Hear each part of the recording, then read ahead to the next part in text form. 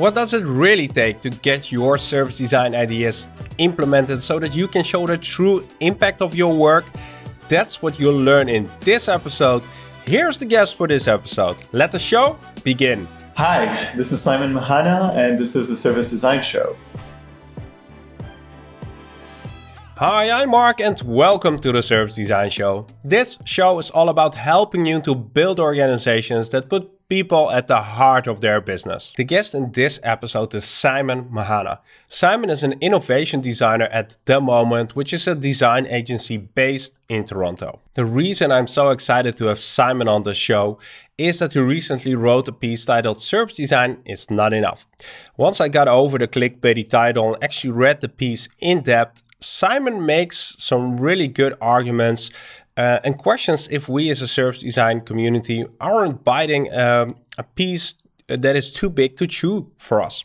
So at the end of this episode, you'll know if we need to do less and be more focused to actually create more impact. That's all for the intro, and now let's quickly jump into the chat with Simon. Welcome to the show, Simon. Hi, Mark. Good to have you on. Uh, in the introduction, I already uh, gave a short sort of hint on why we are chatting. It's also because the article that you wrote on service design it's not enough. We'll get there, but for the people who haven't read the article or who don't know who you are, could you give like a really brief introduction? Sure. Um, so I'm Simon Mhanna. I'm an innovation designer at The Moment. Uh, the Moment is an innovation consultancy uh, firm based in Toronto. Um, the practice basically that we, we do includes um, different aspects of innovation, and service design is a core uh, principle or core aspect of uh, the practice that we do. And this was kind of the context in which I uh, was reflecting on where the practice is and um, how it looks or it feels like to be a service designer in, in Toronto and what um, the market, where the market is at. And this is what uh, the reason I wrote the article about service design is not enough. Uh, and I'm happy to kind of uh, dive a little bit deeper into that with you today. Yeah.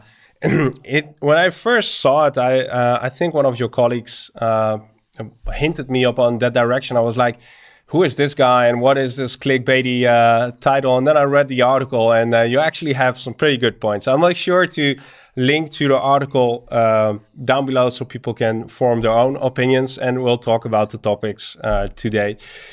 Simon, the question I ask everybody: your first encounter with service design, what was that?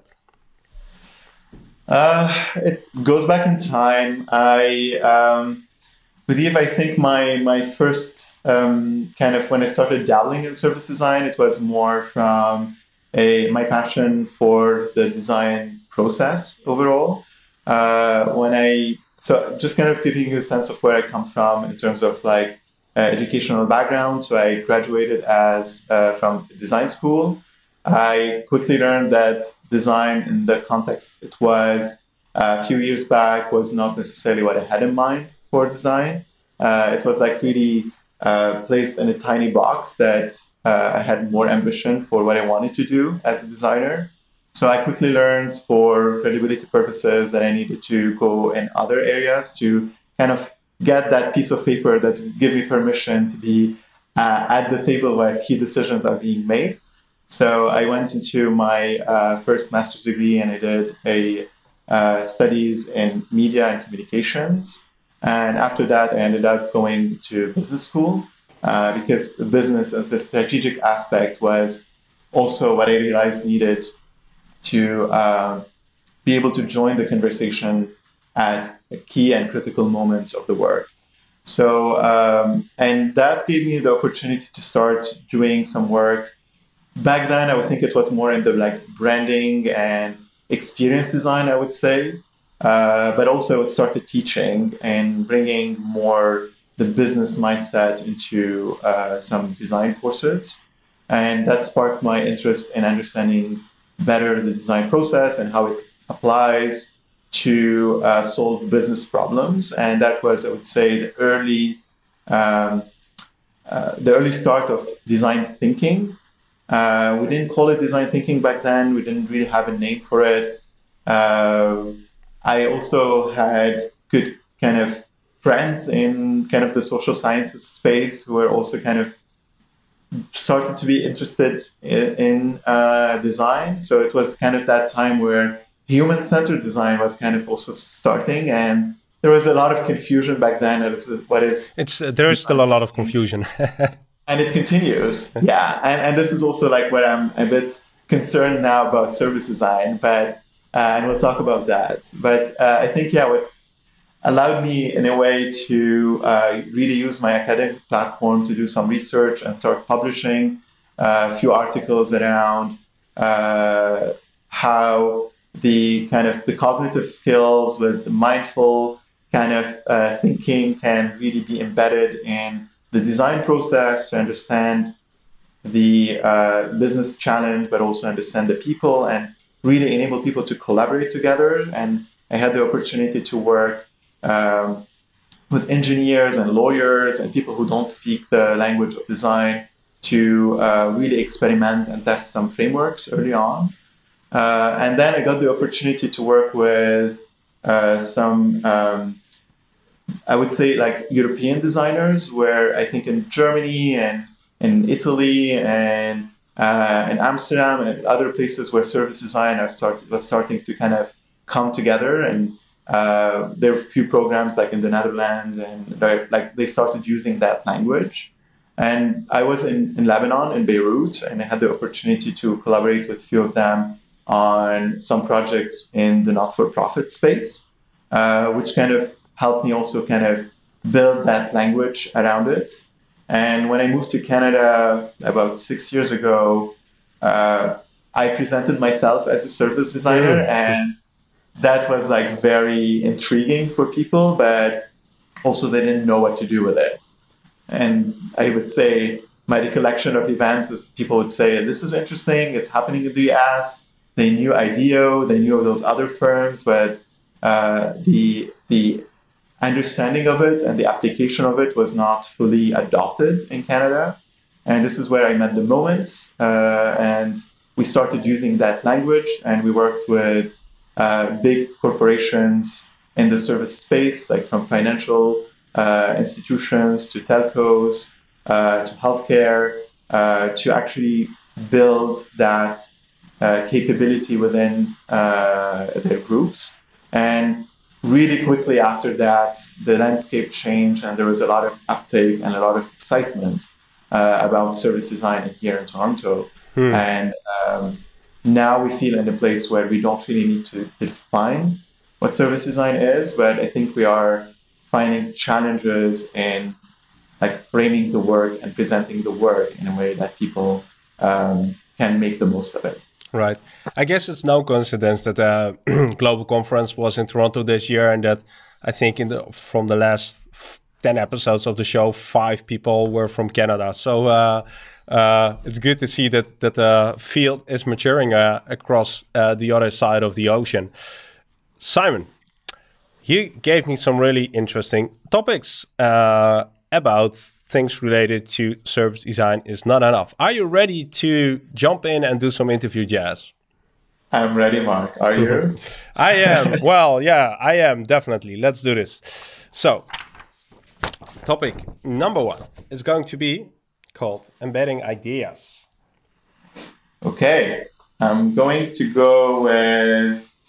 Um, I'm gonna go with the why, and it's a simple question of like, why are we having challenges of really embedding uh, the service design work in uh, the organizations that uh, we are working for or that we're working within? That's a really good question. Uh, I have some ideas about it, but I'd love to hear what your take is. Um, yeah, so I think we hinted a little bit about um, kind of the, the article that I wrote, and I think the major point that I was trying to make uh, behind behind that article is that there's a lot of excitement about service design, which is great. Uh, there are there is a there is a big appetite to do service design work, and uh, we've been working with a lot of uh, like on a, a, lot of interesting projects with various uh, organizations in different industries. Uh, the challenge that we are facing is that uh, once we in, engage in that work and we start working together, especially like with the moment because we have this of what we call joined up team, which is an approach where we really collaborate closely with the teams within the organization to do the work. Uh, we are realizing that it's, it's, in some contexts, in some organizations, we bump into some barriers. Uh, and these are quite risky if uh, there is no awareness and there is no uh, parallel work that is happening in the organization to enable uh, the work not only to happen, but also to go further into the implementation and into the rollout. so what, what kind what kind of barriers and what is the risk? So the risk that we see is that um, sometimes people don't really understand the why service design. So they, they know there is something that they can do better. They, they engage without understanding the implications and what the service design work can reveal. Uh, the other aspect I would say is the organization readiness to make the shift that the service design work will require. So, what uh, kind of shift? shift, I would say the shift in, in, in behaviors, shift in mindsets, uh, shifts even on a strategic level in the direction that the organization is going. Uh, the great value of the service design work is that it's applied, it's tangible, it shows people what it is and what it should be, and it gives them the roadmap to get there. But beyond that, there is a lot of work that is required by the organization to bring the people uh, kind of um, on board, bring the leadership team on board, and uh, really put that uh, service design work in the strategic context for the organization. And when we work on with people, on people, and we work on, with the leadership uh, teams, then I think we're really talking about the transformational work that needs to happen. We talk about culture, we talk about infrastructure, um, all of these other aspects that um, people don't, uh, don't necessarily have awareness uh, of when they sign on like a project a, a project in, in service design. Yeah. So. how do you approach this? Because when a client uh, comes up with a brief and you uh, create a proposal, usually they when they don't know what they don't know they don't include like this transformational part in the project brief. What is your approach then? How do you do, do you just reject the client? Do you help them to reformulate the brief? What do you do? Um, okay so uh, this is like an interesting question and this is something that we talk a lot, of, a lot about in our practice and in our studio uh, I think there are different types of clients. There are people who uh, come to us with some level of understanding of the implications. They have the right intentions in place, uh, and you can have this conversation early on with them. You can uh, set some conditions uh, for the work to happen. Uh, but in other cases, like knowing that um, the other transformational work is quite complex, it takes time, it's a big investment for the organization. Sometimes it's it's a bit scary to kind of talk about it um, right off the top of the project. So if we sense that there is like the right mindsets are there, the right people are there, uh, we find it usually useful to actually start doing the work and then make the case for it. Right. Uh, it, it gets like really like hairy and complex if you start talking about these things uh, without really putting them in uh, the right context for the organization and the work, uh, the project work really reveals uh, what really looks like for the organization and you can then in a very tangible and clear way surface those barriers, talk about the challenges and create the case for uh, the innovation shift right. or the innovation, the transformation. Yeah. so, so, and that is quite an interesting uh, approach because sometimes you need a first project to sort of fail to show where the roadblocks are and to and you know you'll know upfront that it won't uh, go as far as you might want want it to go, but you just need to put it out there so that the client sees the roadblocks for themselves, right? And then you have to pray for the chance to do it to to get a second try. Uh, yeah, because obviously failure is still like a big uh, a big taboo in in the in, this space. So uh, people like really go out of their way to make it look like it worked no matter what, even if it's like a tiny incremental outcome. They want to tell a success story. Uh, so you really need to hold people accountable to what they've set as uh, their goals from the beginning and uh, it requires like I would say it's it's not it's not easy, right? So it's it's uh, like we have a lot of empathy for people who uh, are taking on those challenges in their organizations, and we know it's not something that they can change overnight. So it is a lot of work, and we we we are there to support them, but we need to create a space where we can have an honest and open conversation around it. Uh, and I think this is like the most critical condition hmm. uh, for to set the organization to like really succeed. If it's for, like field based, if it's like there's a lot of um, politics and things that are happening around the work, it really limits the potential of the work. And um, and also like I would think our approach makes it a bit easier because we tend to like work on multiple projects, so we want to help also the organization achieve their immediate short-term goals uh, we don't want them to like hold them back and then say, hey, there's a lot of other things that we need to do before we can really move the work forward. So we do it, but I think uh, we help them kind of achieve their immediate needs, but at the same time, uh, we carve out the space to talk about the strategic level and the bigger shifts that also are needed to get them not only to stay relevant short term in the market, but really to like figure out what the future of the organization really looks like. Right.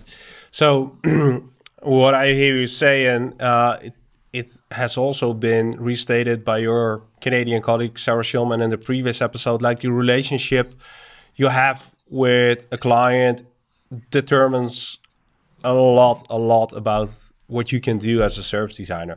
So if if people haven't seen the previous episode, uh, check it out with Sarah Schulman. Um, Simon, topic yes. number two uh, because you already mentioned uh, a lot of uh, the work that needs to be done internally. So this topic makes a lot of sense because it's called internal skills. Okay. Which so question started with you with, pick? I'm gonna go with how can. How, how can, can, we? The designer's favorite. So, yeah. Yeah. So I think it's how can we um, I'm going to say how can we like build the skills within the organizations to sustain uh, the service design work and the innovation work. Hmm. Okay. Um, yeah, and I think my take on this is that it's through the work, right? So this kind of reiterates the uh, what I just said earlier about the importance of taking on real challenges, taking on uh, projects with clear goals and clear conditions and really using the projects as a way to probe into uh, what the, the organization is capable of and uh, putting on um, the learner mindset, I would say, and be humble and saying, this is what we can achieve. These are the gaps that we have.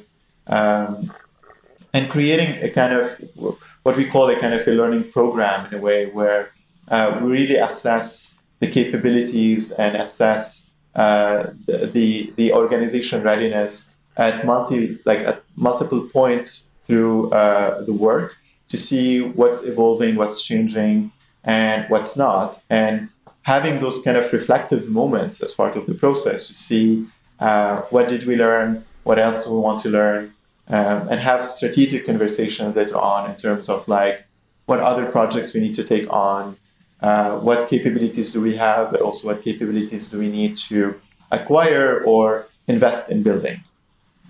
And um, do you uh, are those reflective moments part of a project or is it like a parallel track? Um, i would say both. So uh, the project work uh, as, as you said because it's it's applied it's, it pushes the organization to to show up mm-hmm. and in those moments you are able to see if um, like the practitioners, the people within within the organization have what they need or not. And sometimes it's a matter of like actual experience or like the skills. Uh, sometimes it's a matter of like tools. Uh, but I would say often it's it's a matter of permission, right? So right. we talked about permission. So we talked about failure. We talked about um, um, the, the, the culture, and I think this is where if people are approaching the work with fear, if people are approaching the work with like specific goals that they need to hit, no matter what insights or what learnings come up out of out of the research and out of the work, um, like these are signals that the organization context is not ready to do actual innovation work. So, like. Uh what you just said that, aren't specifically the skills. So if we focus on skills for a second, like what would be like your top three regarding skills that people within an organization need to acquire to actually get this to the next level, rather than permission and fear, the, the rather than the culture stuff. Right. Um, I would say um, leadership skills uh, and I know like this is like maybe builds on exactly what we are just saying, but a big aspect of the work is really uh, creating a, uh, a, momentum within the organization, uh, creating buy-in, uh, holding people um, accountable to what they said they wanted to do, and have hard conversations. So this uh, this ability to like coach and support people through uh, this work is important and it is a key capability. I would say it's a key skill um, that is also evolving and changing in terms of like the nature of it and the, the types of tactics and strategies that are needed to uh, like actually practice it and put it in place. Uh, I would say another one would be um, so this would sound a little bit funny, but I think it's a, like the applied design capability, which rather than the design thinking, yeah, yeah. So it's about really rolling out your sleeves and getting into like the the the quick and dirty aspect of of, of this work of like really prototyping quickly, talking to people quickly. Uh, we see organizations like tend, like tend to sit back, have like lots of long conversations, a lot of meetings, a lot of uh, they, they dream about things and they decide on things without uh, and they make like big decisions in terms of investment of resources and stuff without even like trying anything. Hmm. Uh, so I think the design capability of like really taking quickly an idea and running quickly with it to test it and kind of sense of um, what the customers want, what the stakeholders want, and like really understanding this in a more tangible way. I would say I would say it is a, a key skill that um, not a lot of organizations invest in. Hmm. Uh, having like designers uh, and designers who are trained in, I would say, the classic aspect of design. The craft. Uh, yeah. Yeah, it is a craft. And the last one, I would say it's, it's strategic and futures. So strategic thinking and futures. And this is where uh, we see uh, also a lot of organization going in uh, and making those investments or starting projects without stepping back and understanding the why of the project and why of this investment and really building a strong business case uh, so that when we um, we have the outcomes of the service design work, we can reflect back and say, is this the right thing to do or not? Hmm. Um, and this is also like where we see it's a bit hard without that clarity to create that uh, moment in the process where we can really assess and make some hard decisions sometimes of saying this is not the right outcome or this was not the right project or not the right idea.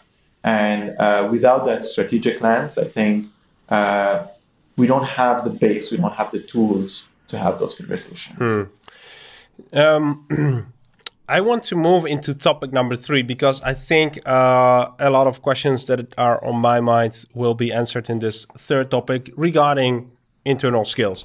And the third topic is called scope. Yes. And, and do you have a question starter? Uh, I think I'm gonna go with what if. What if?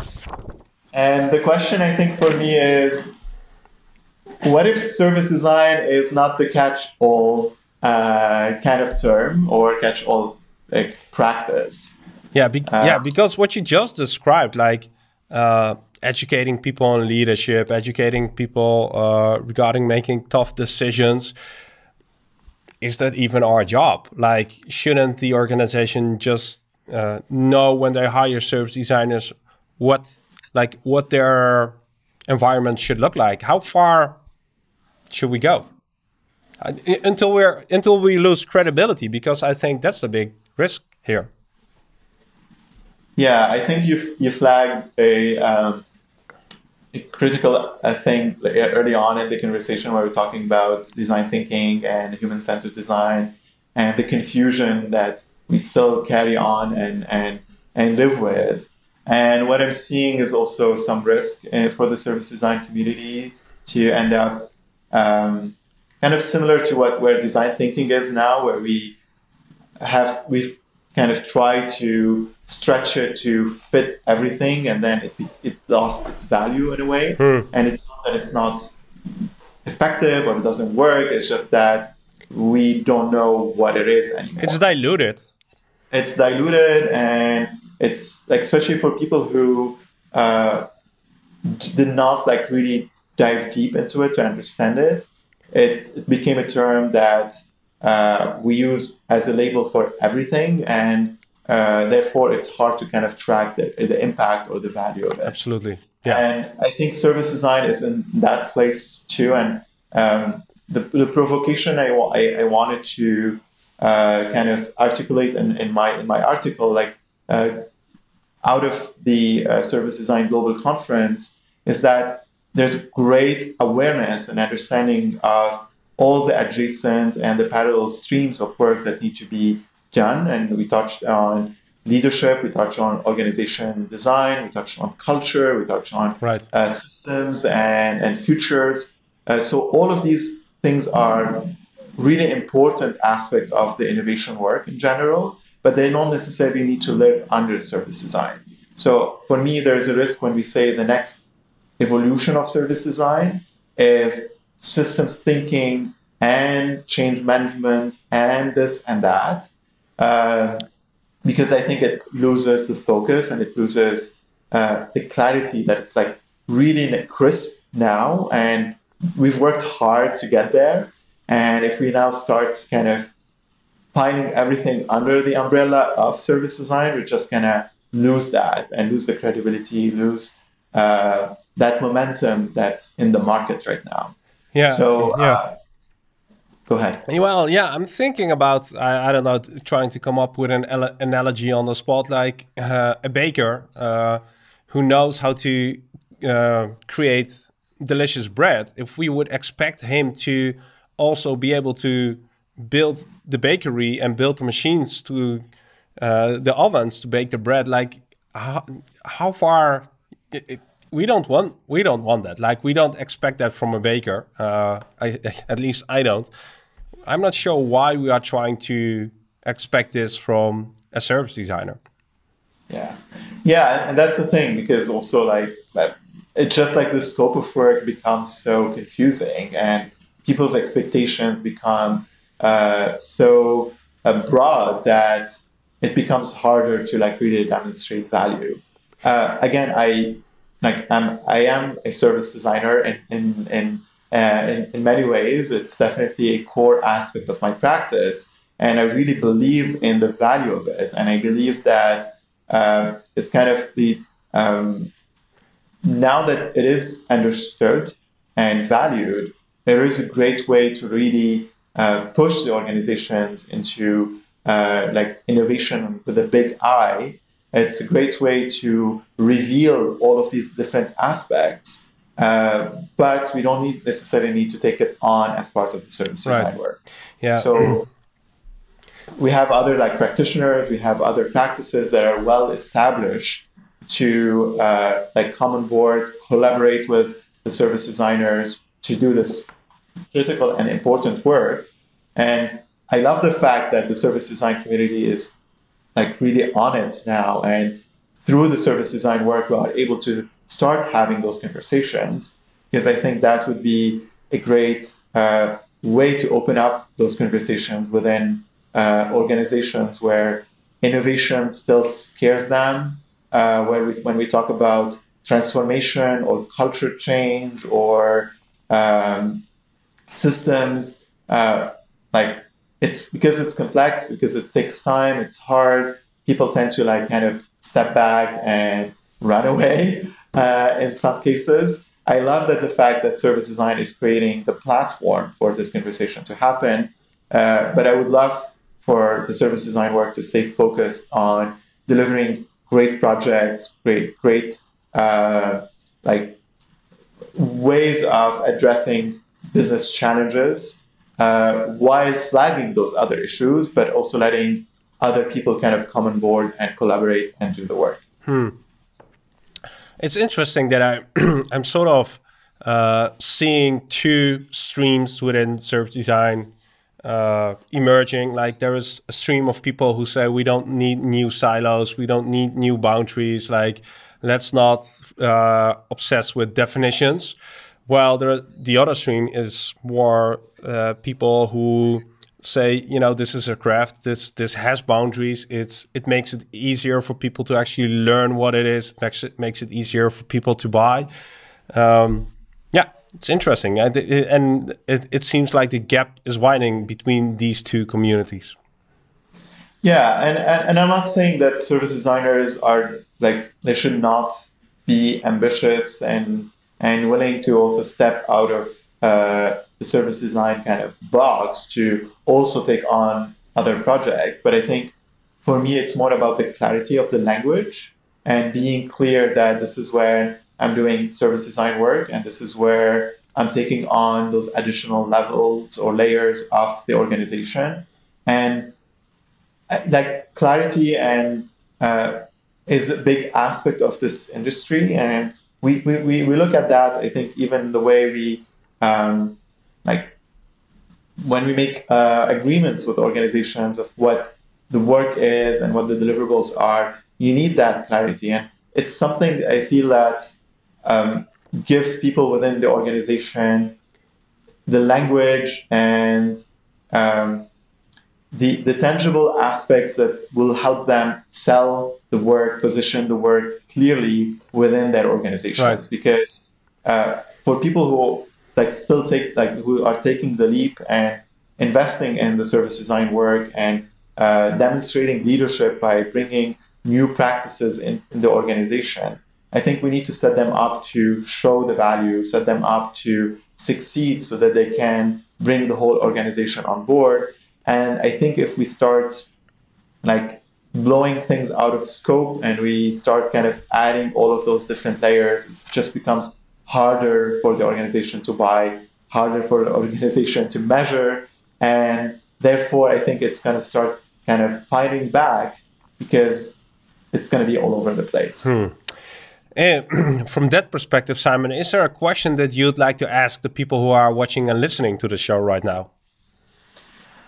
Uh, actually, I would be like, I think I'm going to build on your question of where where people stand in terms of this uh, this kind of those two paths that we're seeing uh, today, and um, I think my question is really around um, because we see like service design in very different contexts. We see service design uh, being um, like bought as a, uh, a vendor service. We see service design being embedded in the organization. We see service design in the private and the public sector. I think the conversation, the question or the conversation that we need to have next is how does it show up really for people in those different contexts and and what aspects I think of this additional layer uh, of work can really be brought under the umbrella of service design and what uh, has to be clearly uh, stated as out of scope.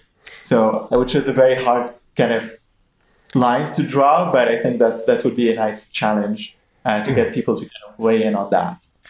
Yeah, well, I, I, would be interesting if people can comment with a few examples of projects that uh, sort of call themselves service design projects, but uh, feel clearly out of scope, and if so, why? Like, we need. I think we need practical examples, um, and this will this will no no doubtly start. Uh, uh, what was the internet meme? Uh, it will start uh, a rage or something like that. Anyway, leave your comments. leave your comments in the comments.